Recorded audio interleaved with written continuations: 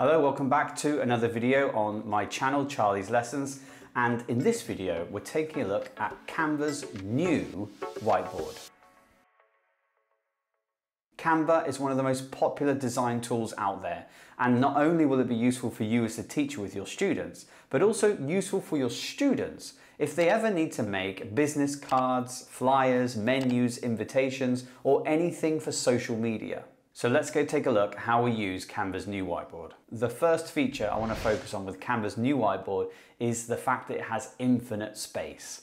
So with a regular whiteboard, obviously there is uh, the sides and you can't go past those, but with a Canva whiteboard, it is infinite. So there are no boundaries at all. So if you're working on a whiteboard with your students and you're running out of space, all you need to do is zoom out and you can zip all the way to the other end. You can take objects and pull them all the way to the other end of the whiteboard. And so there are no limits. And this solves one of the biggest problems with whiteboards.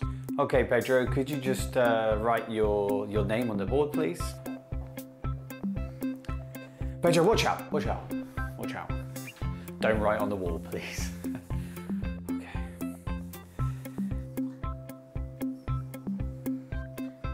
Okay, very good. And could you write also the, the list of the students' names in the class, please?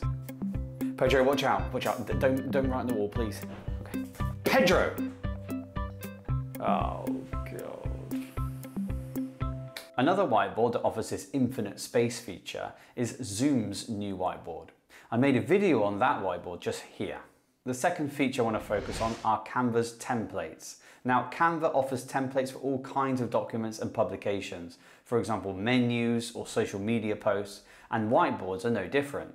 All you need to do is go to templates and click on whiteboard. And there are templates such as mind maps, voting boards, to-do lists, and many more. And these can be adapted for the classroom. The third feature I want to look at are Canva's exclusive elements for whiteboard. Now, when you make any design on Canva, on the left-hand side, you should have a list of tools, and one of those are elements. And what Canva have done, have created a set of specific elements that are perfect for building whiteboards. You can use things like sticky notes, diagrams, arrows, shapes, a lot of different things that are perfect for when you're working with your students online. One of the most important things about any online whiteboard is having your students collaborate. And with Canva's new whiteboard, this is really easy. All you need to do is go to the top right hand corner and share the whiteboard via their email address. Once a student has accepted the invitation and joined the whiteboard, they should appear in the top right hand corner as either a profile picture or a circle with a letter inside. Now each of these circles represent the students.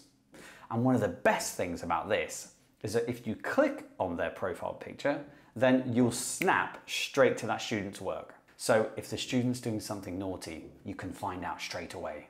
Getting students collaborating in an online class is fundamental. And so I've made another video on five tools and the ways you can get students collaborating right here. The fifth and final feature that I really like about Canva's new whiteboard is that you can download the whiteboards so you can share them with your students if they were absent. A lot of the online whiteboards nowadays have this feature, but one thing I really like about Canva's feature is that you can select a piece of the whiteboard and just download that. So this is really useful because sometimes you don't want to share the whole whiteboard with the student as some of it might not be relevant. And you might just want to focus on the key areas. So you can do this with Canva by just selecting the area that you'd like to share with the students and downloading it. You can then take this image and share it via, let's say, Google Classroom or Class Dojo, or send it directly via email. Thank you for watching this video on Canva's new whiteboard. If you are looking for a new whiteboard, then why don't you give Canva a try? Remember, it's free.